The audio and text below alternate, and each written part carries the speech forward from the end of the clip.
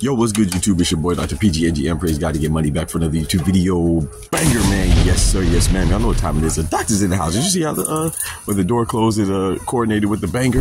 Banger, man. Hey, that was dope, man. You know what I'm talking about? but look, man. So we have some news today coming out the Naoya Inoue side of the side of the boxing things, man. You know, and uh, it's been announced that um, Naoya Inoue supposedly in the works to fight uh, uh, Akhmadaliev. Naoya, you ready? Let's go, champ. Let's go. Let's go, champ. Let's go, champ.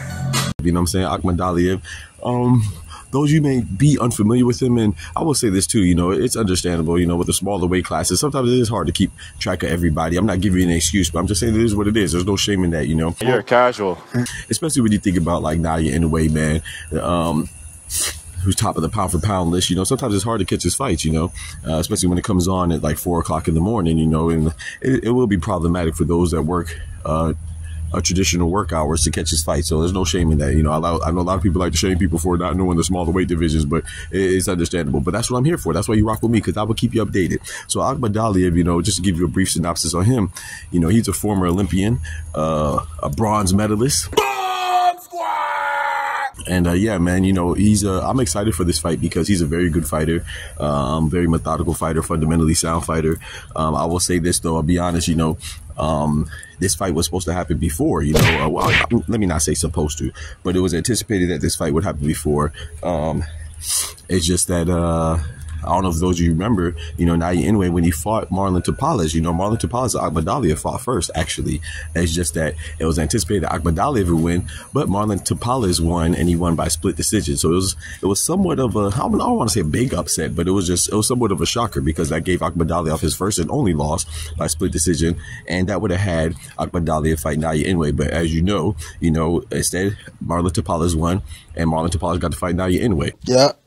So now, you know, after Akhmadaliev. I believe he his last fight was against Kevin Gonzalez. That was a good fight, but I'll be I, I will admit I'm excited for Naoya Inoue versus Akhmadaliev. But with that fight against Kevin Gonzalez, you know, I feel like Akhmadaliev got hit quite a bit, and you know, Kevin Gonzalez is a very tough fighter. That's his first, his only loss. But he had I, I was already worried for him because you know he had that long nose. You know, he had that high high bridge on his nose. So I was like, man, he's gonna get busted up. And sure enough, that's that's what happened. You know, Kevin Gonzalez he tried as hard as he could, and um, he put on a good a good fight. He's a warrior. But you know his nose got blooded up, and um, you know I believe Akhmadaliev stopped him.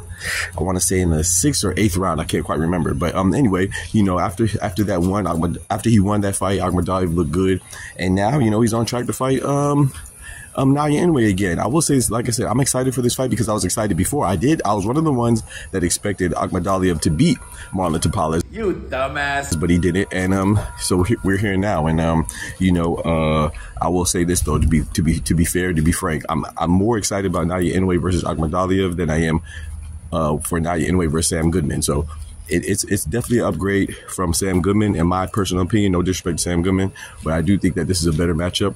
But I do fully expect, strict, strictly uh, considering um, Akhmadaliev's loss to, to Palas, even though, was, albeit by split decision, it was still a loss, and I could see how Naoya Inoue could touch him up. And then with his fight with Kevin Gonzalez, like I said, Kevin Gonzalez was touching him up too before he was stopped. So I think this is a good matchup, but I'm a little less excited for it than I would have been had it would have happened before with uh, beating Tapales, which he did it. But like I said, I still think this is a good fight. I think this is probably the best fight that could be made, um, considering the, the, opponents, unless you talk about like in the future for like Shushu Carrington, who I don't think is ready. And plus, he's not even in the same weight class right now. So at this weight class, I'm very satisfied with this fight. I think it's going to be a good fight. Y'all let me know what y'all think about it, man. I have the monster winning.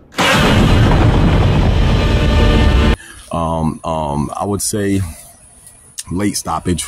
Uh, mid to late stoppage. I say between eight and ten. But yeah, I'm looking forward to this fight. Man, Akhmadaliev is a tough guy, and um, I think I think he can put a fight. Man, you never know, man, because he, he can upset us. Because you know the the Boston gets a little wild sometimes. I appreciate y'all rocking me as always, man. Remember, with God we can do anything. Without God we are nothing. Y'all be easy. God bless. Peace.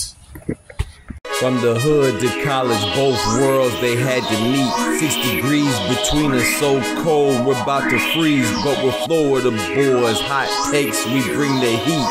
We're moving the culture, the engineers to the streets.